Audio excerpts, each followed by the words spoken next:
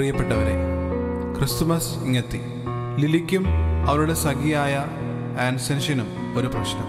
അവർ പരസ്പരം സ്നേഹിച്ചു കഴിയുന്നവരാണ്. ക്രിസ്തുമസ് അല്ലേ ഓരോ സമ്മാനം കൈമാറാൻ അവർ ആഗ്രഹിച്ചിരുന്നു. എന്നാൽ രണ്ടുപേരും പരിതാപപ്രകാരവണ്ണം ദരിദ്രരാണ്. ലിലിയുടെ മുടി നല്ല കറുപ്പാണ്. അതിനാൽ അവൾക്ക് സ്വർണനിർമ്മിതമായ ഒരു ഹെയർ ക്ലിപ്പ് കൊടുക്കാൻ അവൻ തീരുമാനിച്ചു. ഇത് വാങ്ങാനായി അവൻ തന്റെ വയലിൻ വിറ്റു. അതുമാത്രമായിരുന്നു അവന്റെ സമ്പാദ്യം.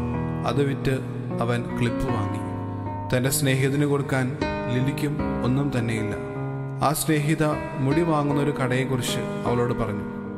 ഉടനെ ലില്ലി അമ്പത് ഡോളറിന് തന്റെ മുടി വെറിച്ച് വിറ്റു.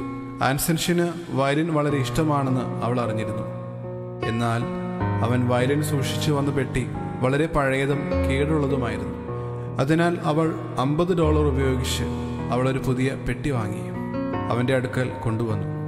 സ്നേഹമുള്ളവരെ ലോകപ്രകാരം രണ്ടുപേരും പണം നഷ്ടമാക്കി. അനുശിഷ്യന് പെട്ടിയിൽ വയ്ക്കാൻ വയലിനില്ല.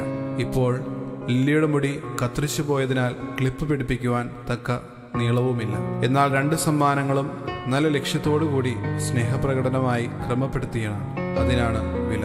ദൈവം ഏറ്റവും സ്നേഹിച്ചു ദൈവം തന്നു. പ്രിയമുള്ളവരെ ഇന്ന് ചെയ്യേണ്ടത് ഇത്രമാത്രം. പരസ്പരം സമ്മാനങ്ങൾ കൈമാറുക. അതൊരു പക്ഷേ പൈസ കൊണ്ട് വാങ്ങുന്നതാകരുത് പൈസ കൊണ്ട് വാങ്ങാൻ പറ്റാത്ത എന്തെങ്കിലും. അതൊരു പക്ഷേ ഒരു ആലിംഗനമോ ഒരു ചിരിയോ ആകാം. ആമേൻ.